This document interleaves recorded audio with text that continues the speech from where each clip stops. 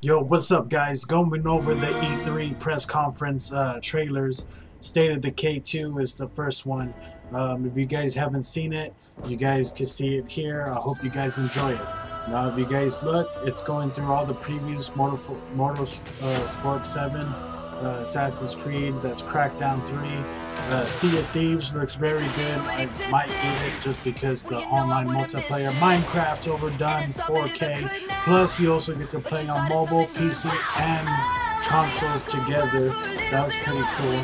Got a Game Boy. Super Lucky's Tale looks alright. I mean, I personally probably won't get it. Tekken 7. Tekken 7 is going in hard. Uh, I don't know what else can, you know, be good. They're probably going to make us Tekken 8. I don't know.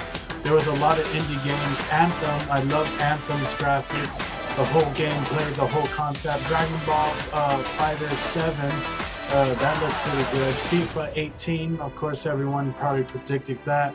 Um, Forza 7, that shit looks good. The graphics look mint condition. Uh, Assassin's Creed Origins, I can't wait to try that out, see how that plays. Red Dead Redemption 2, uh, everyone's excited for that one, I guess. Battlefield 1, Battlefield always comes out with something everyone likes. It. Need for Speed Payback.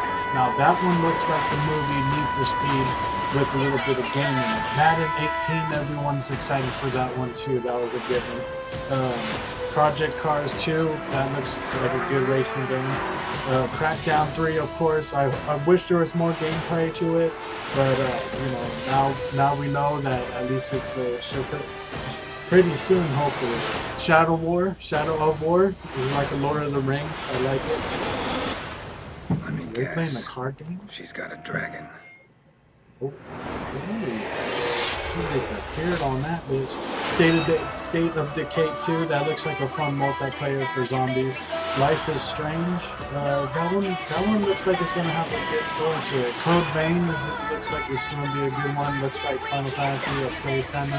Final Fantasy, of course, uh, the, the new one, you get to ride the Chocobo, or whatever you call it. Mega Man, I love Mega Man. Cuphead reminds me of the old ass fucking the old, old, old way that Mickey Mouse was used to be. And everything else is, is pretty good. I like it. The best games, supposedly they're all going to be in 4K or be able, or available in 4K, uh, Ultra, Ultra HD. Um, sorry, I kind of slang my words there. It's okay.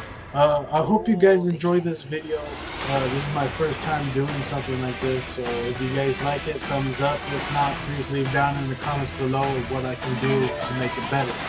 Um, I hope you guys enjoyed this video, and I hope you Play guys it on Xbox. One. Alright, bye.